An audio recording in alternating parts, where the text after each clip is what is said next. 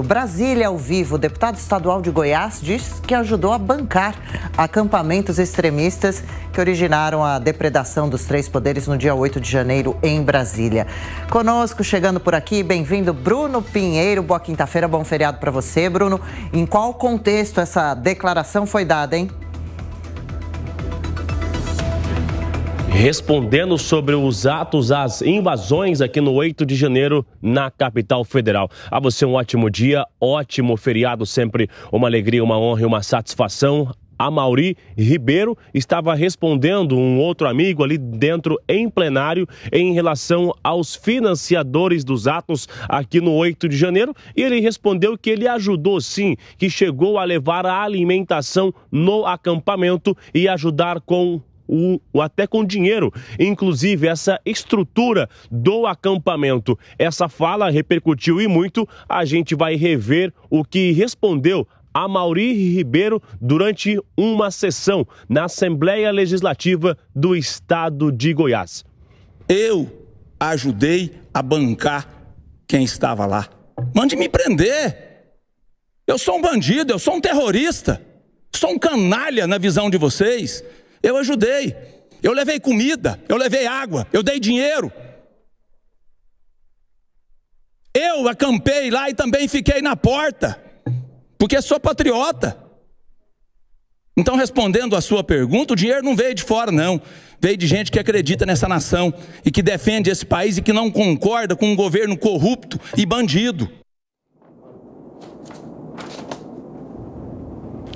Ele ainda repetiu, reforçando que nunca se arrependeu de ter ajudado essa estrutura do acampamento. A gente relembra rapidamente, Adriana, que diversas investigações, várias etapas de operações na Polícia Federal a fim de identificar os financiadores, inclusive intelectuais, dos atos do 8 de janeiro. Nas últimas horas, a Mauri Ribeiro recuou e voltou a falar que essa fala acabou sendo retirada de contexto e que não foi justamente isso o que ele respondeu durante uma sessão na Assembleia Legislativa. A gente vai aguardar se essa história vai continuar repercutindo e se ele vai se tornar alvo de uma investigação do inquérito que investiga justamente esses atos radicais do 8 de janeiro. Que declaração mais impactante, hein? A gente vai acompanhar, sim, Bruno. Agora, justamente falando sobre a CPMI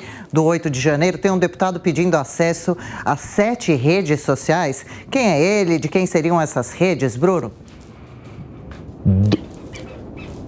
Duarte, realmente ele já apresentou cerca de sete requerimentos a fim de investigar o Instagram, o Facebook, aplicativos de WhatsApp e outras plataformas que também hospedaram informações em relação aos atos do 8 de janeiro. Entre cerca de 800 requerimentos, esses requerimentos já estão lá aguardando se serão analisados ou não, e o objetivo é investigar se essa articulação, se esse planejamento das invasões aconteceram de forma remota, online nas redes sociais, antes e durante as invasões. A partir de agora, essas reuniões vão acontecer na semana que vem e a gente vai acompanhar se esse requerimento será analisado. A gente relembra antes de finalizar que existe uma certa dificuldade em acessar essas plataformas com requerimentos na hora de recolher informações que estão hospedadas, se de fato o sigilo será retirado e se essas informações serão compartilhadas. São diversas linhas de investigação. Essa linha de investigação sobre o 8 de janeiro no Congresso Nacional já foi apresentado e a partir de agora inicia então essas investigações com diversas oitivas. Repito, já são cerca de 800 requerimentos uma CPMI que existe uma expectativa de se alongar, de se estender durante cerca de seis meses. São vários assuntos, vários requerimentos. A gente vai continuar acompanhando um dia após o outro e essas oitivas com novas revelações. Adriana. Claro, até porque ainda há muito que acompanhar. O Bruno já volta. Agora, Diogo Schelp, impressionante a confissão ao vivo e a cores para todo o Brasil que fez, mesmo contendo ironia, o deputado de Goiás. Será que ele vai conseguir o que pediu, afinal, acabar sendo preso? E as redes sociais contribuíram para a organização das invasões? Adriana, hoje em dia não é as redes sociais fazem parte da vida de todo mundo e fazem parte também de atividades é, que são condenáveis. Né? Então, organização de eventos, organização de manifestações, é, combinação de, inclusive, de atos ilegais, obviamente tudo isso passa também por aplicativos de mensagens, por exemplo. De fato, existe uma dificuldade muito grande de acessar dados, conversas, mais especificamente, que são feitas em aplicativos de mensagens é, justamente porque as empresas têm né, um mecanismo ali de para garantir a privacidade, para que o conteúdo tenha uma, uma configuração, uma criptografia de ponta a ponta. Então, muitas vezes é difícil ter acesso ao que é conversado via é, essas plataformas. É mais comum que se tenha metadados, ou seja, dados de quem conversou com quem, quando é, e por quanto tempo.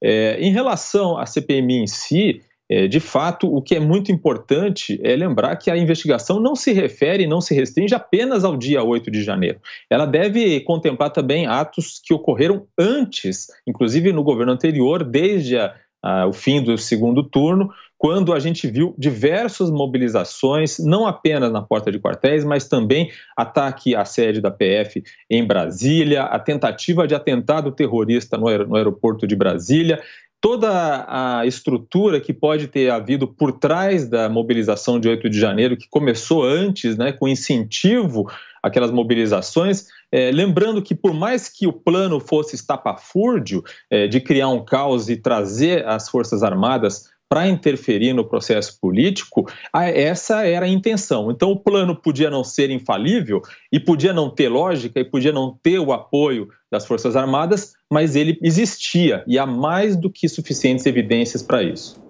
Dávila? Olha, esse, esse tipo de requerimento para olhar todas as redes sociais é de quem não quer investigar os fatos. A gente tem que investigar os fatos. O que aconteceu? Como é que essas informações, se a BIM deu informação ou não, se o GSE sabia ou não. É isso que interessa, porque é óbvio que havia movimentação. A, a BIM disse, alertou que havia movimentação, que os ônibus estavam chegando em Brasília. Então, assim, Conversa de rede social é uma coisa. Agora, o problema é quando você vai para os fatos. E é os fatos e os atos que tem que ser investigado. Se a gente começar a tentar pedir, abrir plataforma de sete é, aí no requerimento do deputado Duarte, tá, a investigação não vai andar, não vai chegar a lugar algum. E nós não vamos esclarecer o que aconteceu no dia 8 de janeiro. A coisa mais importante, aliás, é isso que o deputado lá do estadual não entendeu até hoje, que patriotismo é saber o que aconteceu no dia 8 de janeiro, é respeitar as regras da democracia, é respeitar o sistema eleitoral e o veredito das urnas. Isso é que é ser patriota, não é dar golpe de Estado, não é, não é enfraquecer a democracia. Por isso, é fundamental focar, focarmos nos fatos, no que realmente aconteceu, nos atos, e parar de ter esse tititi de quem falou com quem em redes sociais. Isso aí não vai lugar nenhum. Nós precisamos saber o que aconteceu, como é que foi a real mobilização das pessoas em torno desse evidente ato de vandalismo que foi 8 de janeiro. Beraldo. Não, só para é, pegar o gancho do Shelp, é, o plano poderia haver, e eu concordo com você, havia muita gente achando que aconteceria ali uma ruptura institucional. Mas o ponto é o seguinte: essas pessoas tinham condição de promover esse, de colocar em prática esse plano.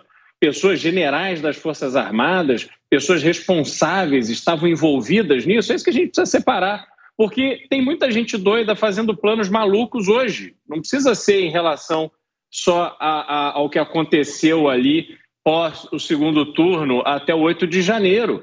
Mas o fato é que, para que você tenha uma repercussão efetiva, para que isso se torne uma ameaça efetiva à continuidade institucional do Brasil, você tem que ter pessoas graduadas, aptas e dispostas a fazer alguma coisa. Então, quando a gente tem é, é, o deputado lá de Goiás dizendo que levou água para as pessoas que estavam no quartel e que deu dinheiro, ele tem que responder pelo que ele fez, mas a gente não pode supor que ele, com o seu chapelão, é que conduziria algum tipo de ameaça institucional, porque, obviamente, as forças policiais debelariam qualquer tentativa. Tivemos duas pessoas, ou, ou mais, enfim, que se envolveram numa tentativa de explodir um, um caminhão em Brasília. Criminosos, têm que ser presos. Agora, esta explosão, para que ela resultasse no caos e a tomada de alguma medida, outras pessoas tinham que estar participando disso. A gente não pode simplesmente ficar supondo o envolvimento, supondo consequências. Temos que olhar os fatos objetivos. No caso desse deputado, o fato é objetivo. Ele declarou, está gravado, tem que responder pelo que ele fez.